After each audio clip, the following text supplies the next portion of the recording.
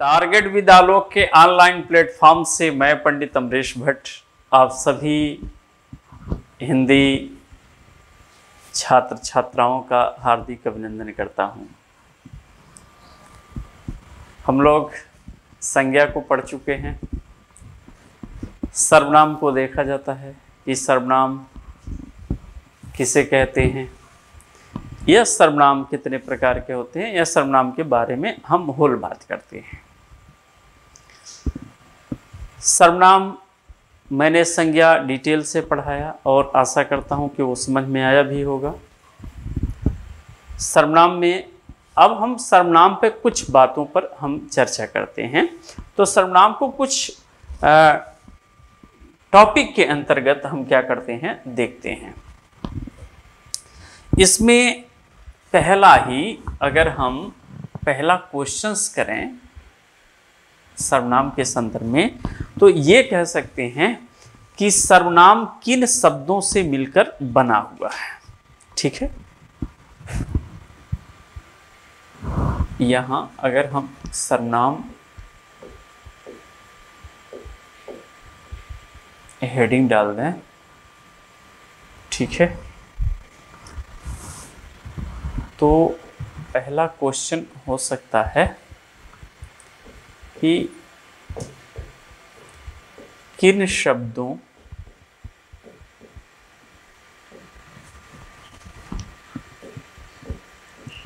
से मिलकर बना है? ठीक है। पहला पॉइंट हो सकता है।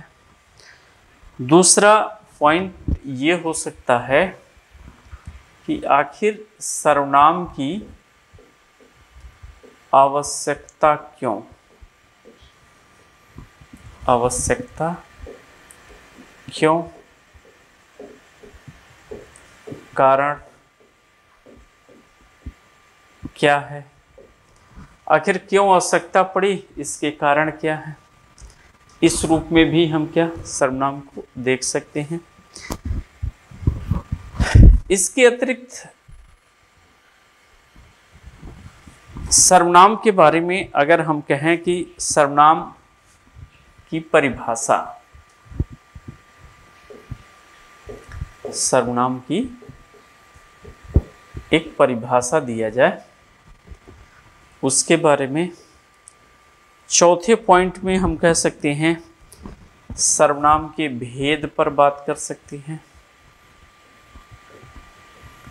सर्वनाम के भेद पर चर्चा हम करें और पांचवा पॉइंट हम कह सकते हैं, सर्वनाम के प्रकार पर हम बात करें। सर्वनाम के प्रकार पर हम बात करें। ठीक है? तो ये जो है सर्वनाम।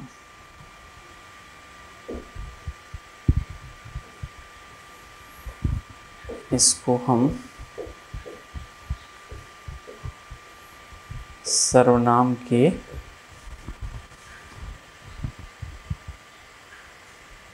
प्रकार। इसको भेद मत कहिए, इसको सर्वनाम की संख्या बोल दीजिए। सर्वनाम की संख्या, क्योंकि भेद और जो है कितनी, ठीक है? कितनी होती है? सर्वनाम के प्रकार या भेद एक ही होते हैं। भेद या प्रकार एक ही होते हैं। अगर इन पाँच पॉइंट को हम बात करें तो सर्वनाम को आसानी से समझा जा सकता है। पहला पॉइंट एक एक पॉइंट को लेकर के हम आपसे बात कर रहे हैं। आसान तरीके से समझते हुए चलेंगे। बहुत कोई इस कठिनाई नहीं है इन सब टॉपिक में। एक, अपने मानस को खोल दीजिएगा। यानी मस्तिष्क को खोल दीजिएगा और देखिएगा सर्वनाम किन शब्दों से मिलकर के बना है? पहला क्वेश्चन अगर हम सर्वनाम को देखते हैं तो एक शब्द आपका आता है सर्व और दूसरा शब्द आता है नाम। ये क्लियर हुआ कि सर्वनाम दो शब्दों से मिलकर के बना हुआ है। पहली चीज़, जिसमें सर्व का आशय क्या है? सभी से, और नाम का आशय नाम से ही है, या संज्ञा से है। ठीक? यानी सभी नाम से या सभी संज्ञा से इसका आशय होता है? तो पहले क्वेश्चंस का आंसर आपको मिला कि सर्वनाम दो शब्दों से मिलकर के बना हुआ है, जिसमें सर्व का अर्थ सभी और नाम का अर्थ नाम अथवा संज्ञा होता है, अर्थात जो सभी नामों के स्थान पर प्रयुक्त हो, वही सर्वनाम है, ऐसा हम कह सकते हैं। तो ये पहली चीज़, ये पहले क्वेश्चन का आंसर दूसरा क्वेश्चन ये कहता है कि आखिर इसकी आवश्यकता क्यों पड़ी? कारण क्या है? दूसरा क्वेश्चन दूसरा जो आवश्यकता क्यों पड़ी? आखिर क्यों संज्ञा से काम नहीं चला? क्यों हम सर्वनाम को लाए? कारण कौन नाथ मोहिमारा मैं बैरी सुग्री वही प्यारा। भाई, कारण क्या है? किसी के आने का कुछ न कुछ कारण होगा। तो उन कारणों को भी जानना पड़ेगा। तो कारण क्या आपको मिलेंगे कि भाषा जितनी अधिक प्रवाहित होती है। देख भाषा के प्रवाह के लिए। आप कह सकते हैं, भाषा के प्रवाह के लिए,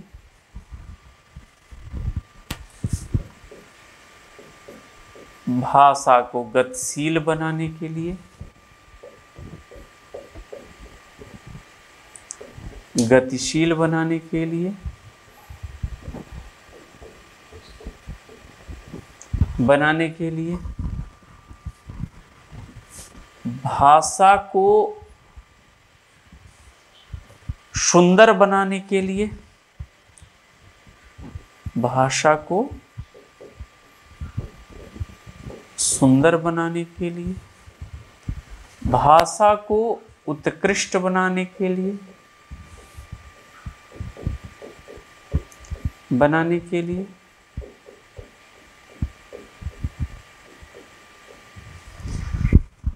हम तमाम ऐसे बिंदु हैं कि जिसके लिए हमको सर्वनाम की आवश्यकता पड़ी। अगर सर्वनाम नहीं रहता तो भाषा खंडित हो जाती। जैसे मान लीजिए कि किसी का नाम लेते हैं, ठीक? अब मैं एक सेंटेंस लिखता हूँ। मान लीजिए मैंने लिखा कि रानी का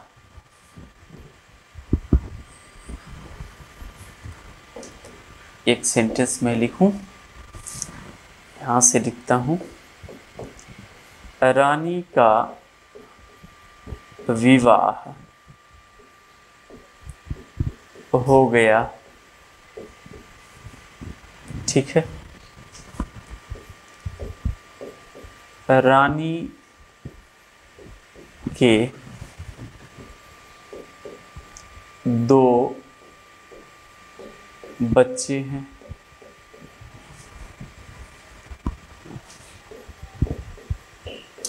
रानी पढ़ती भी है। ठीक है।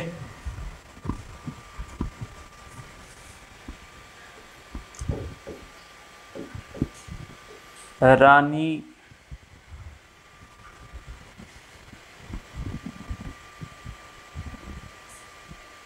रानी के पति।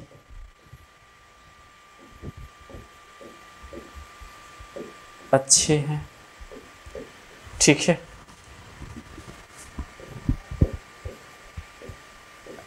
रानी की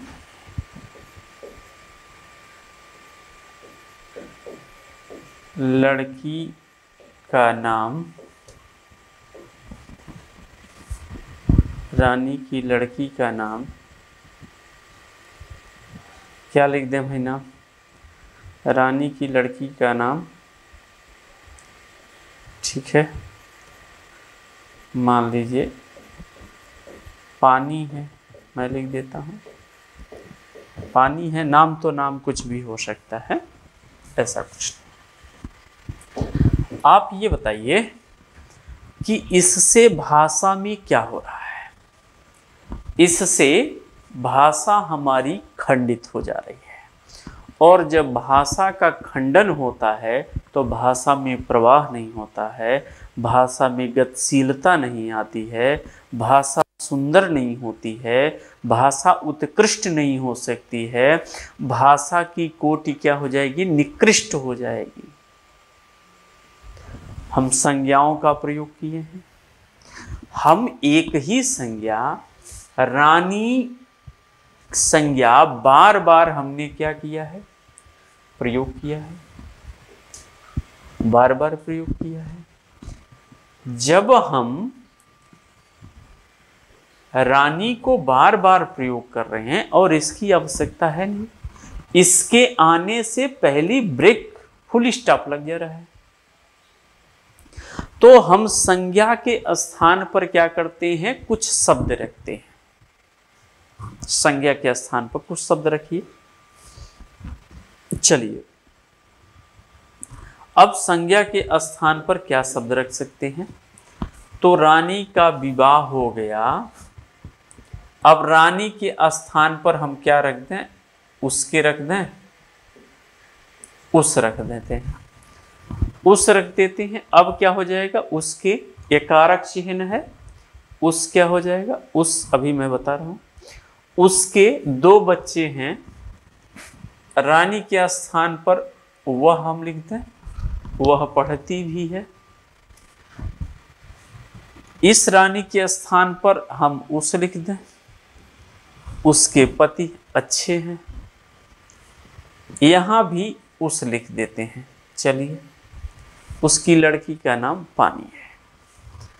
अब जब ये हम लिख देंगे तो क्या होगा? अब सेंटेंस ये पहली बात फुल स्टॉप हट जाएगा। और इसको हम क्या कर देंगे? हटा देते हैं। अब क्या हो जाएगा? रानी का विवाह हो गया। रानी का विवाह हो गया। और यहाँ पर उस लिख देंगे तो लिख देंगे, रानी का विवाह हो गया, उसके दो बच्चे हैं। ठीक है? यहाँ भी हटा देंगे। रानी जहाँ जहाँ है, वहाँ वहाँ हम हटा देंगे। यहाँ से भी हटा दीजिए, यहाँ से भी हटा दीजिए, और ये फुल स्टाफ हटाते चले जाइए।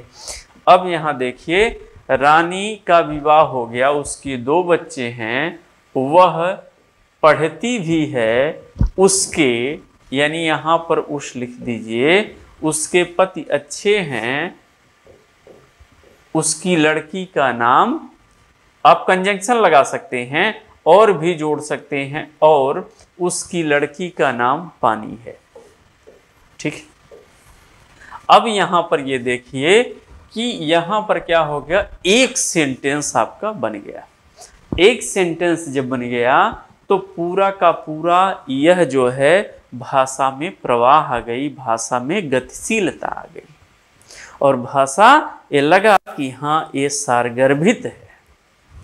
तो आप जो है, यहाँ पर आप कह सकते हैं कि संज्ञा जहाँ जहाँ प्रयुक्त हुआ है, सर्वनाम यानी सबका नाम क्या होगा कि संज्ञा के स्थान पर जो प्रयुक्त हुआ है, ऐसा शब्द जो संज्ञा के स्थान पर प्रयुक्त हुआ है और संज्ञा का ही अर्थ दे रहा है, लेकिन भाषा को गतिशील बनाए रह रहा है, भाषा को प्रवाहित बनाए रह रहा है, वही क्या होता है? सर्वनाम होता है।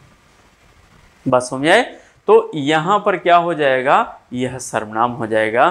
तो आवश्यकता क्यों पड़ी? क्योंकि भाषा को गतिशील, भाषा को प्रवाहित बनाना है। यानी दो बातें यहाँ से आपको दो पॉइंटों पर हमने बात किया। कि किन शब्दों से मिलकर के बना हुआ है, इस पर हमने बात किया।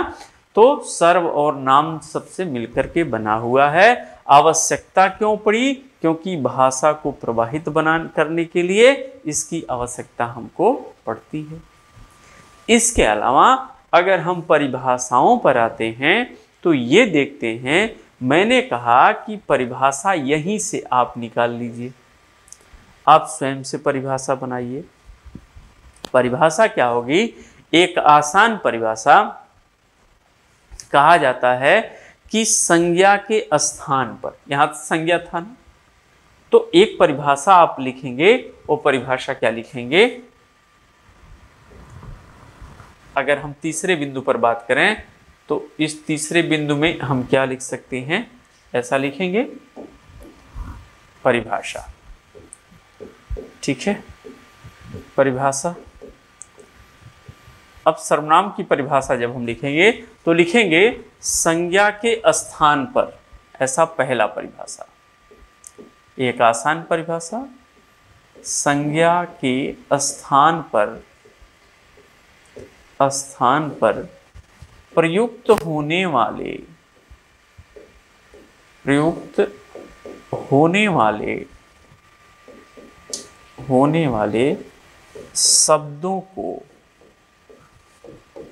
शब्दों को सर्वनाम कहते हैं। सर्वनाम कहते हैं। पहला, ये परिभाषा आपकी हो गई कि संज्ञा के स्थान पर तो आप देख रहे हैं संज्ञा के स्थान पर जो जो प्रयुक्त हुआ हो, वो क्या हो जाएगा? सर्वनाम होगा। यानी उस क्या है, वह क्या है ये सब क्या है? सर्वनाम है। जो भी संज्ञा के स्थान पर प्रयुक्त होगा और उसी का अर्थ बोध करेगा, वही सर्वनाम हो जाएगा। बात समझ आई? तो एक परिभाषा आप ऐसा दे सकते हैं कि संज्ञा के स्थान पर प्रयुक्त होने वाले शब्दों को हम क्या कहते हैं? सर्वनाम कहते हैं। दूसरे स्थान पर कह सकते हैं, सभी नामों के स्थान पर जिन शब्दों का प्रयोग किया जाए। ऐसा आप कह सकते हैं। परिभाषा नंबर एक हो गया। परिभाषा नंबर दो आप कह सकते हैं। सभी नामों के स्थान पर सभी नामों के स्थान पर नामों के स्थान पर जिन शब्दों का प्रयोग किया जाता है, जिन शब्दों का प्रयोग किया जाता है, किया जाता है, उन्हें सर्वनाम कहा जाता है। कहा जाता है। या तो ये हो गया कि सभी नामों के स्थान पर जिन शब्दों या जहाँ जहाँ नाम है, वहाँ वहाँ हम प्रयोग करते हैं, लेकिन उस, उसी का अर्थ वह देता है तो वो सर्वनाम कहलाता है। एक थोड़ा सा हम क्लिष्ट परिभाषा आपसे बात कर रहे हैं। हम क्लिष्ट परिभाषाओं पर थोड़ा सा आपसे एक बात कर रहे हैं। एक परिभाषा तीसरे नंबर की परिभाषा अगर हम बात करें तो एक परिभाषा ऐसा लिख सकते हैं। तीसरे नंबर की परिभाषा की हम बात करें। ऐसा लिख सकते हैं, सर्वनाम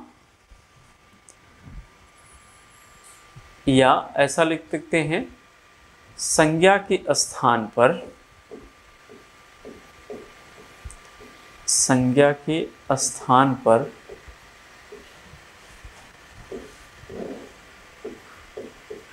प्रयुक्त शब्द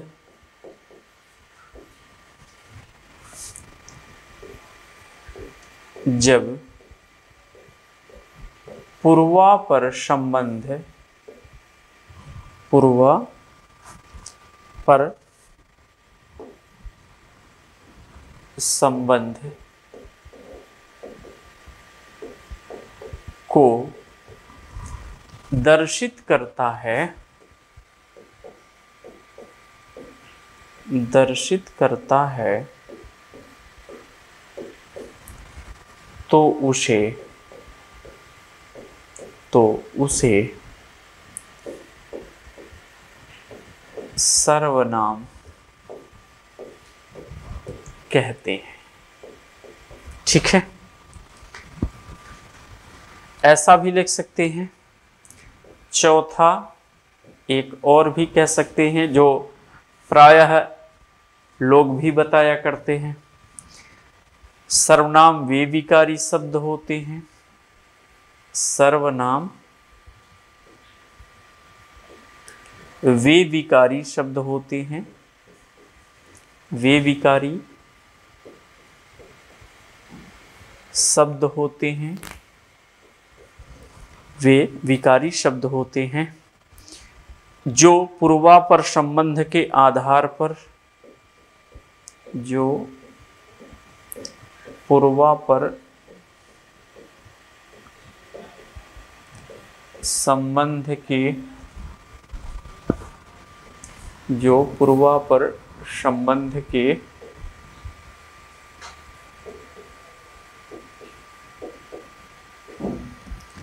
आधार पर संज्ञा के स्थान पर प्रयुक्त होते हैं। ये सब जितनी भी परिभाषाएँ मैं आपको बता रहा हूँ, ठीक है? इन परिभाषाओं से आप दिक्कत में मत आइए।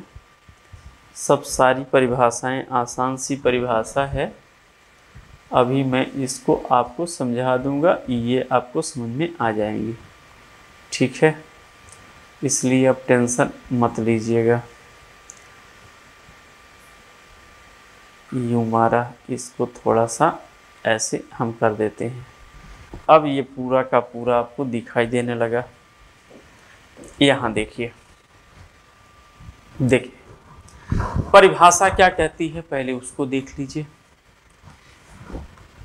पहला संज्ञा के स्थान पर प्रयुक्त होने वाले शब्द सर्वनाम कहलाते हैं। बात सही है।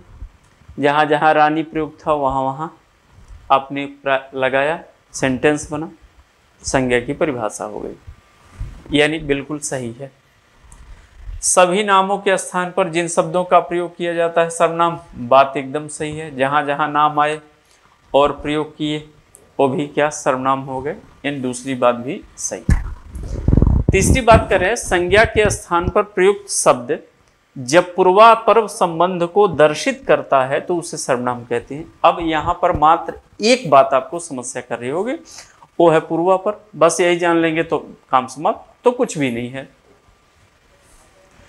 पूर्वापर संबंध होते हैं कि जो पहला है, उससे आपका क्या, जो पहले वाला है उससे आपका संबंध है कि नहीं? यानी उस संबंध पर ही आधारित है कि नहीं? यानी ऐसा जैसे आप यूँ कह सकते हैं कि मान लीजिए कि रानी का विवाह हो गया। ये सेंटेंस ही हम लेते हैं, ठीक? तो रानी का विवाह हो गया, उसके दो बच्चे हैं। अब मान लीजिए कि यही सेंटेंस मैं यहाँ पर ब्रेक कर दूँ। अब ध्यान से समझिएगा, ये बहुत आसान सा चीज़ है, पूर्वापर संबंध इसी को बहुत सारे लोग मैं देखता हूँ ना, इतना बढ़ा चढ़ा बताते हैं। जैसे लगता है कि ब्रह्मांड में वही एक अवतार लिए हैं कि जो इसको बता रहे हैं। अरे, साधारण सी बात है। इसी पुस्तकों में ज्ञान छिपा हुआ है। जो पढ़ लेगा, समझ लेगा, उसको आ जाएगा। लेकिन कोई कोई मैं देखता हूँ, एक आध शब्द ऐसा पा जाएँगे जो बच्चे नहीं जानते हैं। अब उस पर ये भी बहुत सारे तो टीचरों को मैं ये भी सुना कि बड़े बड़े टीचर भी ऐसा नहीं बता पाएँगे जो मैं बताता हूँ। ये सब बेकार की बातें हैं। आप भी बता सकते हैं, आप भी पढ़ लेंगे, आप भी बता देंगे। सीधी सी बात है, इसमें कुछ ऐसा नहीं है। आप, बस आप अभी उतनी गहराई से पढ़ नहीं रहे हैं। हम उतनी गहराई से पढ़ रहे हैं। यही अंतर है सिर्फ़ और कुछ भी नहीं है। तो ध्यान से समझिएगा, ऐसा कुछ भी नहीं है इसमें कि ये समझना कठिन होता है। क्योंकि एक बार पूछ दिया गया है इसी आधार पर तो बस हो गया है इसके बाद, इसके पहले, अब छोड़िए। यहाँ बस इतना आप जानिए। मान लीजिए ये सेंटेंस में लिखूं, रानी का विवाह हो गया, उसके दो बच्चे हैं। ये आप ध्यान दीजिएगा। मैं थोड़ा सा पेज चेंज करूँगा। यही उदाहरण मैं आपसे ले रहा हूँ, बाकी बहुत सारे उदाहरण मैं ले लूँगा। रानी का विवाह हो गया हो गया है। उसके दो बच्चे हैं। दो बच्चे हैं। ठीक। हमको ये बताइए कि रानी का विवाह हो गया है, यह जो उष है, एक के तो आपका परसर्ग है, कारक चिन्ह है। इसको आप अलग भी, जब सर्वनामों के साथ कारक चिन्ह आते हैं तो एक में आते हैं। जब संज्ञा के साथ कारक चिन्ह आते हैं तो अलग अलग करके आते हैं। इसलिए आप जब भी देखिएगा, यहाँ अगर रानी लिख दिया जाए तो रानी के साथ के नहीं रहेगा, रानी के हो जाएगा। रानी के दो बच्चे हैं। चूँकि संज्ञा है तो संज्ञा के साथ परसर्ग जो होते हैं, जो कारक चिन्ह अभिव्यक्ति जो होते हैं, वो अलग हो जाते हैं। और सर्वनाम के साथ वह कारक चिन्ह क्या होते हैं, एक में लग जाते हैं, और कोई बात नहीं है। तो यह उस क्या है, सर्वनाम है, किसके स्थान पर आया है, रानी के स्थान पर आया है, ठीक है? तो अब ये उस क्या हो गया? सर्वनाम हो गया। लेकिन ऐसा सर्वनाम हुआ कि जो रानी से संबंध स्थापित कर रहा है। यानी यह जो उस सर्वनाम है, यह उस सर्वनाम किससे? रानी से, यानी अपने पूर्व पर। जो पूर्व संज्ञा प्रयुक्त हुई है, उसी संज्ञा के संबंध पर आधारित है। इसी को पूर्वा पर संबंध कहते हैं। अगर यहाँ पर कोई ऐसा सर्वनाम आ जाए, जो सही नहीं बैठे तो वह पूर्वा पर संबंध नहीं बनाएगा और सेंटेंस को गलत कर देगा। जैसे मान लीजिए, रानी का विवाह हो गया, उसके स्थान पर अगर मैं वह लिख दूँ, ठीक है, वह लिख दूँ तो वह के दो बच्चे हैं अब यह वह, ये भी सर्वनाम है, लेकिन यह सर्वनाम रानी के साथ संबंध नहीं स्थापित कर रहा है, यानी इसके साथ पूर्वा पर संबंध नहीं बना रहा है, इसलिए यहाँ पर वह क्या हो जाएगा? सर्वनाम होते हुए भी गलत हो जाएगा।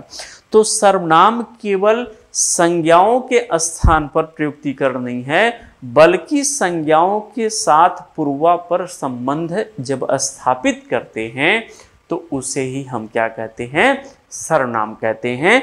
तो एक जो विस्तृत परिभाषा हो गई, आपको व्याकरणिक रूप से परिभाषा जो हो गई, वह यही हो गई, इसी को आप चाहे जो भी आप सेंटेंस बना लीजिए, चाहे जो भी उदाहरण आप ले लीजिए मान लीजिए कि मैं उदाहरण लेता हूँ, राधा। एक अन्य उदाहरण लेता हूँ और आपको पुनः समझा देता हूँ। मान लीजिए लिखा गया है, राधा।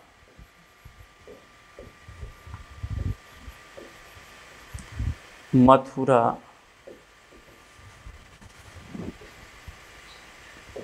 जाएगी और ठीक है। राधा मथुरा जाएगी और राधा कृष्ण से मिलेगी। कृष्ण से मिलेगी। ठीक है। मैंने ये बताया कि आपको संज्ञाओं के स्थान पर प्रयुक्त होता है। सर्वनाम, ये तो बातें आपको क्लियर हुई। पहली चीज़, अब मैंने ये भी बताया कि संज्ञा के स्थान पर प्रयुक्त हुए, लेकिन कैसा पूर्वापर संबंध बना हुआ? तभी तो बेसिकली सर्वनाम होगा। तभी उसका प्रयुक्तिकरण सर्वनाम तो हो जाएगा, लेकिन सेंटेंस बैठाने में पूर्वापर संबंध नहीं बैठेगा तो सेंटेंस गलत हो जाएगा। अब यहाँ राधा मथुरा जाएगी और राधा कृष्ण से मिलेगी। तो ये तो कंफ्यूजन वाली चीज़ है। पहली चीज़ दो को लेकर के है, दो है, दो दो राधा है कि एक राधा है। इसको हटा के, इसको हटाने के लिए, वाक्य को क्लियर करने के लिए, भाषा को स्पष्ट करने के लिए, भाषा को प्रवाहित बनाने के लिए इस राधा को आपको क्या करना पड़ेगा लाल? हटाना पड़ेगा। और इस हटा करके राधा मथुरा जाएगी और वह कृष्ण से मिलेगी। अब यहाँ बताइए, ये जो वह सर्वनाम प्रयोग हुआ है, यह राधा के साथ संबंध बना रहा है कि नहीं बना रहा है? ये राधा के साथ संबंध बना रहा है कि नहीं बना रहा है? तो यह राधा के साथ संबंध बना रहा है। तो यही राधा और वह के बीच में जो संबंध बन रहा है इन्हीं संबंधों को हम पूर्वापर संबंध कहते हैं।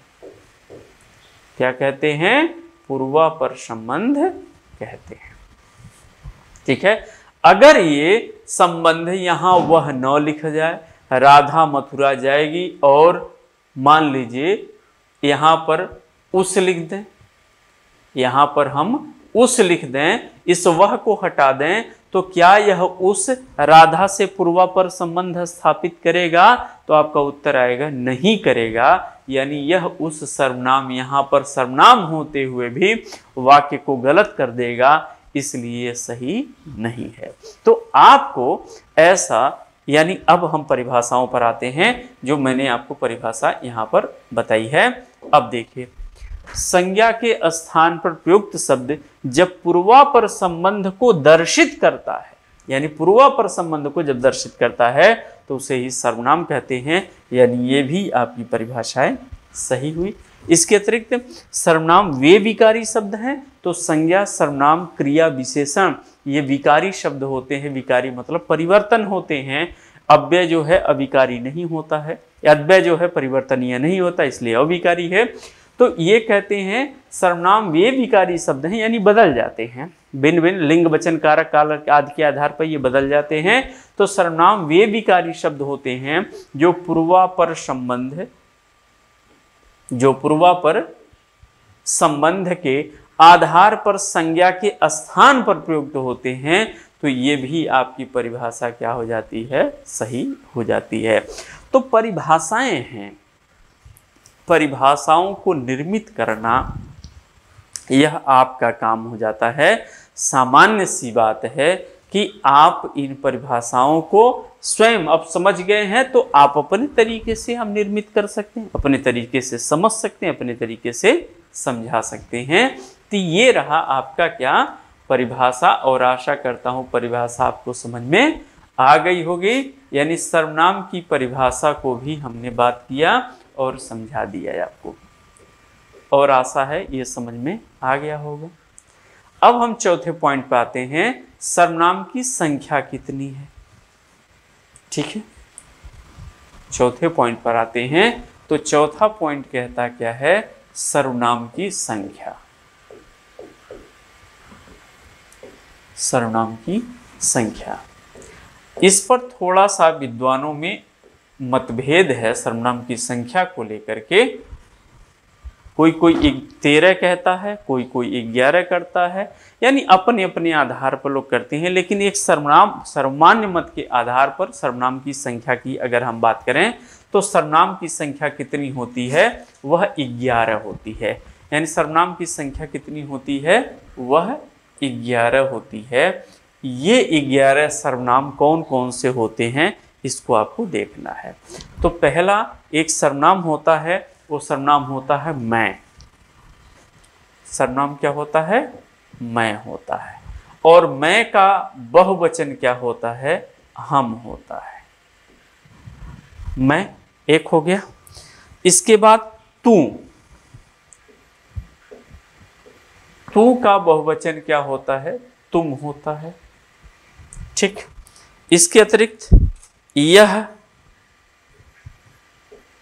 यह यह का बहुवचन ये होता है। वह वह का बहुवचन वे होता है। शो शो का बहुवचन से भी होता है कहीं कहीं सो भी आपको मिलेगा। यानी और इसके अतिरिक्त आपको वचन में परिवर्तन वो नहीं होते हैं, जो जो भी सर्वनाम है, जो शो आप, कौन, क्या, आप, कौन, क्या, कोई कुछ। ठीक। यही आपके क्या होते हैं? यह संख्या एक, दो, तीन, चार, पाँच। छ, सात, आठ, नौ, दस, ग्यारह। यही आपके कितने सर्वनाम होते हैं? तो यही सर्वनाम आपको भिन्न भिन्न स्थानों पर प्रयोग किए जाते हैं। यानी संज्ञाओं के स्थान पर ये क्या किए जाते हैं? प्रयोग किए जाते हैं। तो यानी सर्वनामों की संख्या कितनी होती है?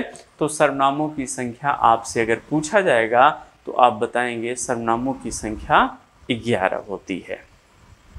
ठीक है? और ये ग्यारह यही होता है इसी को भिन्न भिन्न रूपों में इसका बहुवचन नहीं होता है, ऐसे ही ये प्रयुक्त होते हैं, इसका बहुवचन होता है, यानी इस रूप में भी ये प्रयोग किए जा सकते हैं।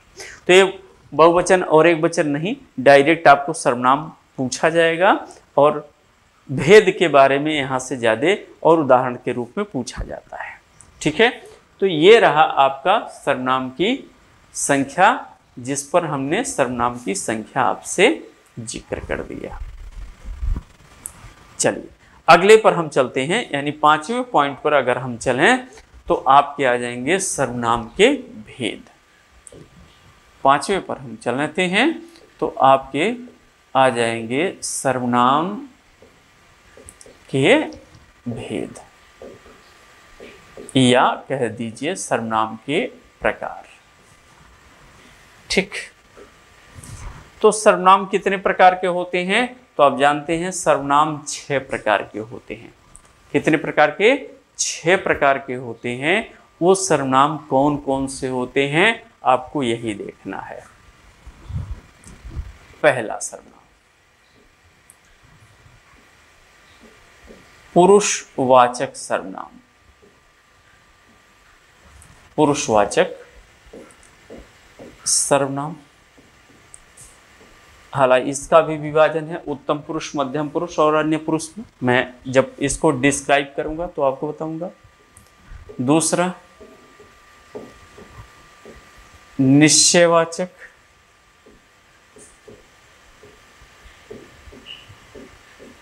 निश्चयवाचक सर्वनाम। तीसरा, निश्चय है तो अनिश्चय भी है। अनिश्चयवाचक सर्वनाम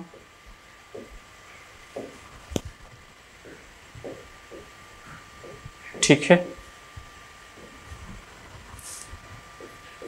चौथा संबंधवाचक प्रमा संबंध वाचक सर्वनाम।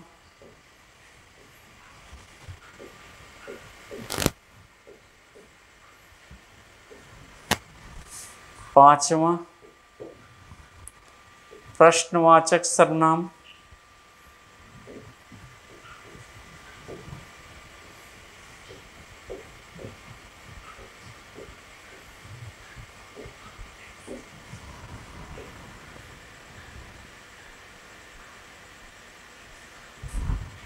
और छठा निजवाचक सर्वनाम।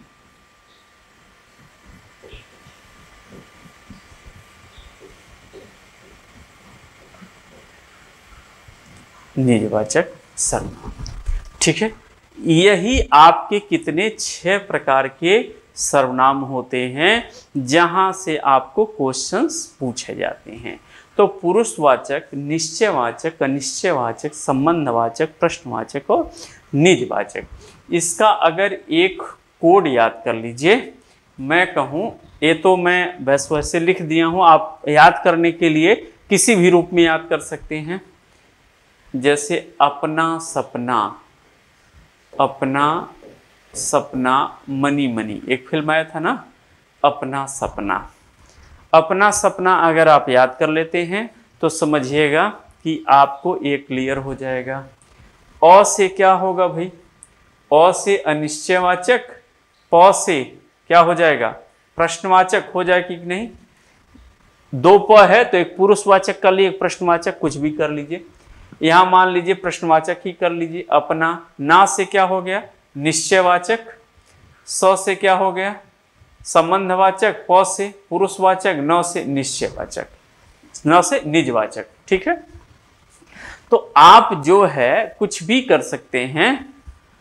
अपना सपना, यानी अ से अनिश्चय, प से, चाहे पुरुष कहिए, चाहे प्रश्न कहिए, बातें कहिए, ना से निजवाचक कहिए या आपको निश्चयवाचक कहिए। सौ से संबंधवाचक, पौ से प्रश्नवाचक, नौ से निजवाचक। ठीक है?